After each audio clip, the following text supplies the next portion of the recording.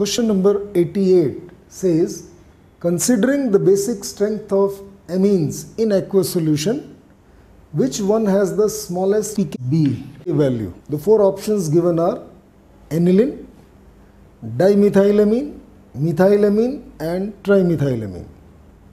If we compare the basic strength of amines in aqueous solution, aromatic amine is less basic than aliphatic amine because the lone pair of electrons at nitrogen is delocalized with the benzene ring. Its availability is partial.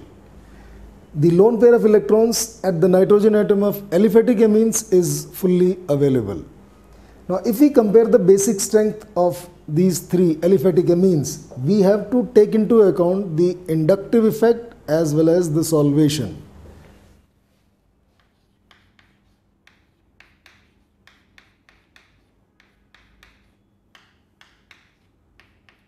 Methylamine in aqueous solution will be present as methyl ammonium ion. The three hydrogen atoms attached to nitrogen will form hydrogen bond with water molecules.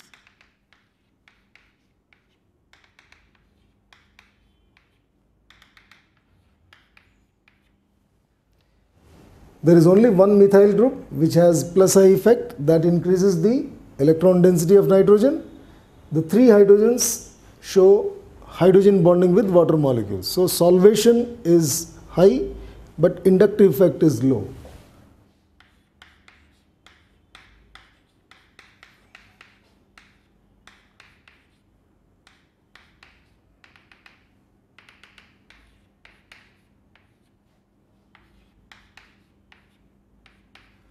Dimethylamine will be present as dimethyl ammonium ion. There are only two hydrogen atoms bonded to nitrogen which form hydrogen bond with water molecules. There are two methyl groups which show plus I effect. So inductive effect is moderate, solvation is also moderate. In the case of trimethylamine,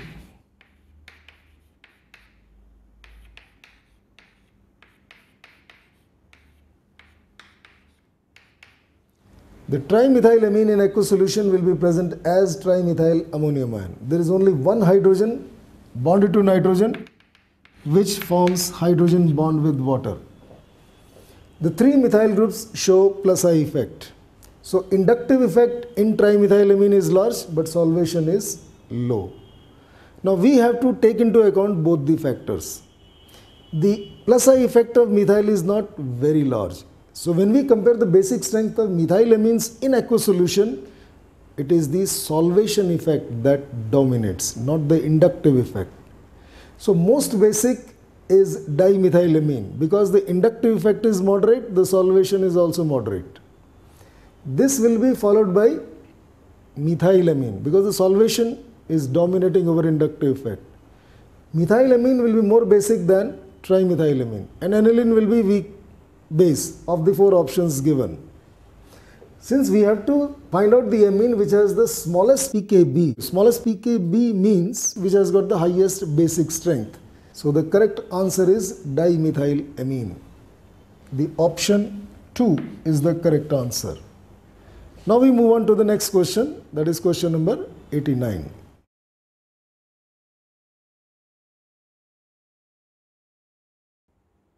Question number 89 says, if Z is a compressibility factor, van der Waals equation at low pressure can be written as four options are given. Now if we look at the van der Waals equation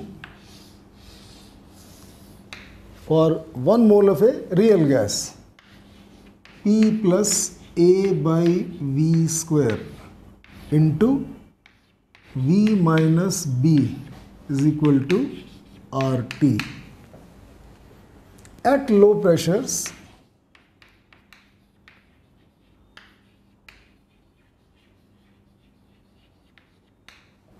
B is negligible.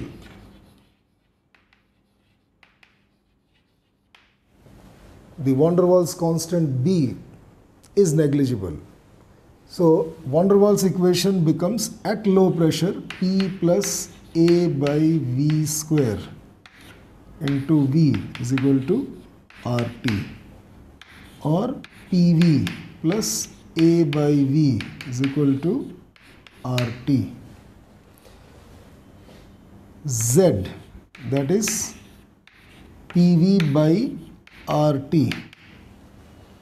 will be 1 minus A by VRT. So at low pressures the compressibility factor is given by this expression 1 minus A by VRT. So option 3 is the correct answer. Now we move on to the last question of this part that is question number 90.